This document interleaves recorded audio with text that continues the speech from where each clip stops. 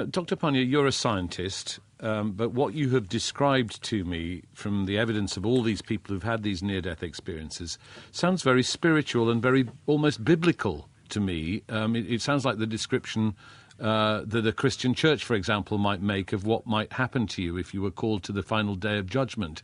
D- does it give you pause for thought? Does it make you a man of faith as well as a man of science?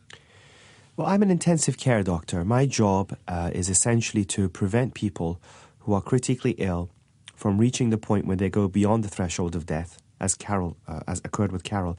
Now, interestingly, I'm obviously I'm not a theologian, I'm not a philosopher, and I don't have a background that's very strong in these areas. But I'm not entirely sure if the descriptions that people bring back is necessarily consistent with any particular cultural or religious belief uh, system.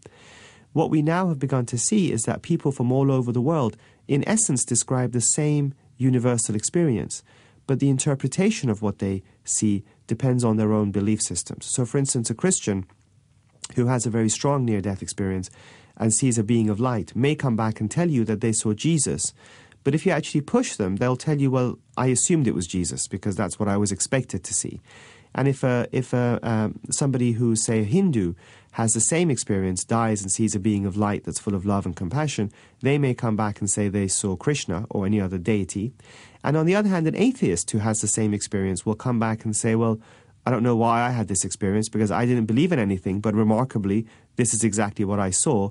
I don't know who it was, but it was this being that was full of love and compassion. Mm. So, what we're finding now is that it's science that's beginning to guide our understanding of what happens when we die, rather than, say, a theological, philosophical, or personal opinion, um, as has occurred with the rest of science. There's no reason why the study of death should be limited to theology or philosophy or just personal belief systems.